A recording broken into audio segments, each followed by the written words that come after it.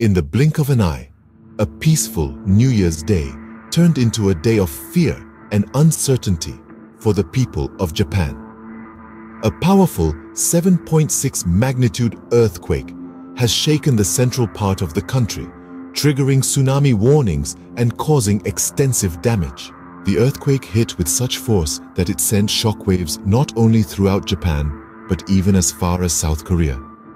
The Japan Meteorological Agency didn't waste a moment issuing a major tsunami warning, the first of its kind since the catastrophic events of 2011. In response, nearly 100,000 residents of Ishikawa Prefecture were thrust into emergency evacuation procedures.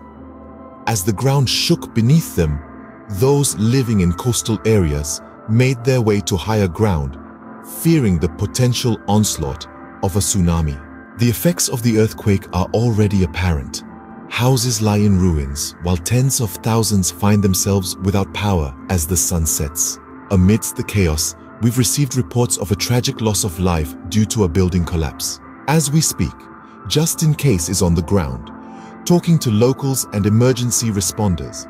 He's gathering first-hand accounts and detailed information, painting a vivid picture of the unfolding situation. Emergency response teams are hard at work, assessing the damage and offering aid to those most in need.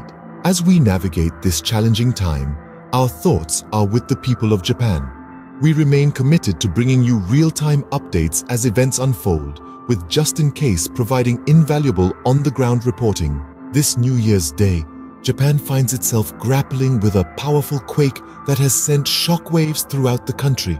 Stay with us as we continue to bring you the latest developments on this unfolding situation.